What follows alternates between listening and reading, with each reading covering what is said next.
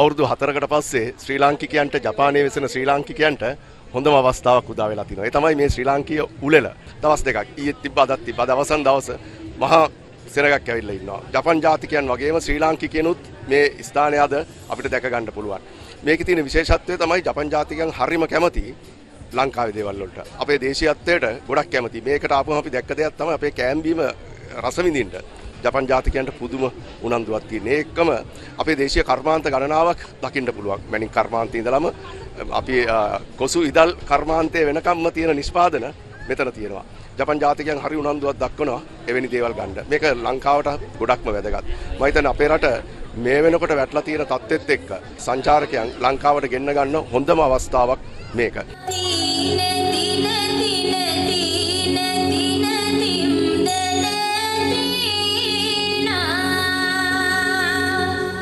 ජපානයේ ශ්‍රී ලංකා තානාපති කාර්යාලය ශ්‍රී ලංකා ව්‍යාපාරික සංගමය හා වාහන ආනයනකරුවන්ගේ සංගමයෙක්වයි මෙම උළෙල සංවිධාන කර ඇත්තේ. මෙය සෑම වසරකම පාහේ ජපානයේදී පැවැත්වෙන අතර කොරෝනා හේතුවෙන් පසුගිය වසර හතරේදී පැවැත්වීමට නොහැකි වුණා. උත්සවයේ ආරම්භක අවස්ථාවට ජපානයේ ප්‍රධාන සංඝනායක පූජ්‍ය බානගල උපතිස්ස ස්වාමින් වහන්සේ මෙන්ම ජපානයේ ශ්‍රී ලංකා තානාපති රොඩ්නි පෙරේරා, ජපාන් ව්‍යාපාරික සංගමේ සභාපති ජගත් රාමනායක, ප්‍රධාන සංවිධායක ජිතේන්ද්‍ර සමරවික්‍රම යන මහතුරුන් ඇතුළු පිරිසක් සහභාගී වුණා.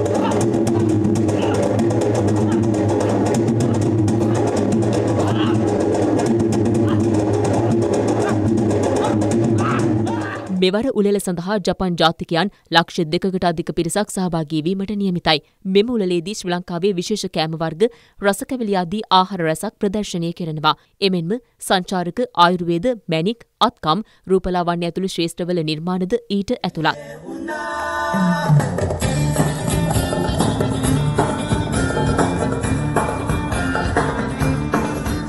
ජගත් රාමනායක මම හිතන්නේ මේකේ දැවැන්තෙක් මේ සංවිධානයේ පසුපස ඉන්න මහා දැවැන්තයා.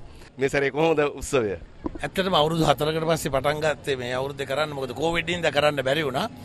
මං හිතන්නේ අපිට ඊටාම සාර්ථකයි කියලා කියන්න පුළුවන්. ඊයේ සෙනසුරාදා සෙනසුරාදා දවසේ අපි හිතුවට වඩා සෑහෙන ජනගහනයක් ඇවිල්ලා හිටියා. අද ඉරිදා කියන්නේ හැමෝටම නිවාඩු දවස.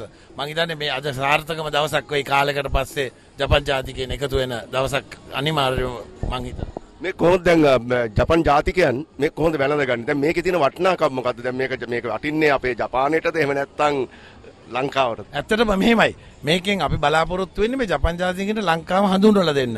අපි කොච්චර හිතුවත් මේ ජපන් කට්ටිය ලංකාව ගැන දන්නවා කියලා එහෙම දන්නේ නැහැ. දන්න කට්ටිය ගොඩක් අඩුයි. මොකද ලෝකේ රටවල් ගොඩක් තියෙනවා. අපි පොඩි දූපතක්. ඉතින් අපි මෙතනින් කරන්නේ ලංකාව කියලා මෙච්චර ලස්සන රටක් තියෙනවා මේ ලෝකේ. මෙන්න මෙහෙමයි මේ රට. මෙන්න මේකේ කෑම බීම මෙහෙමයි. මේ වගේ ලස්සන ඩාන්සර්ස් තියෙනවා. ලස්සන සින්දු තියෙනවා.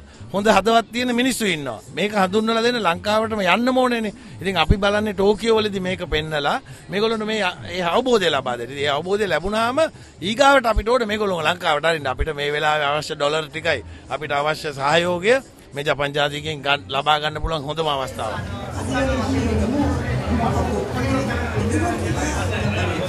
のスリランカ人ですでとってもあの日本語が上手ですので